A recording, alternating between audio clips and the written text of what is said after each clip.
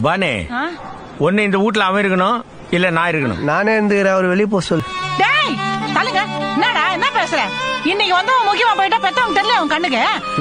ஏண்டா உன்னை கஷ்டப்பட்டு பெத்து வளர்த்து படிக்க வச்சு கடனை உடனே வாங்கி கடை வச்சு கொடுத்த இந்த அப்பா உனக்கு தெரியல இல்ல தெரியல. டேய்! திரும்பி நிக்கிறாருமா நான் பார்த்தாலே அடிக்கணும் போல இருக்குன்ற. அட நம்பியா? பார்த்தா அடிக்கணும் போல இருந்துச்சு. பார்த்தாலே எப்பறம் ஒருத்தனை பார்த்தா அடிக்கணும் போல தோணும்? பாரு வர தம்பி யார முறைக்கிற? மச்சான் முறைக்கிற மாதிரி தான் இருக்கு என்ன முறைக்கிற? எதுக்கு திருப்பி முறைக்கிற? இருபத்தஞ்சுல ஒன்னாயிரம் ரூபா போச்சுன்னா இருபத்தி மூன்றரை.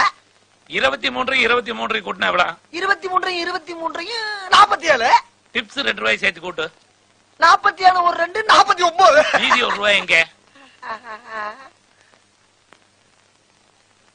ஆமா எங்க?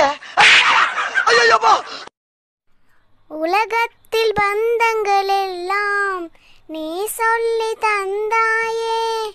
பிடப்பக்கும் இடப்பக்கும் மேயில் வழி நடத்தி சென்றாயே.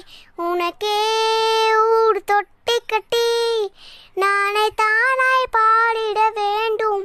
அராடிடாரோ நான் இங்கே பாட தாயடி கண்ணுடங்கு.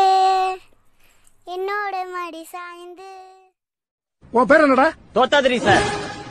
உன் பேர் என்ன? ரஜினி முருகன் சார்.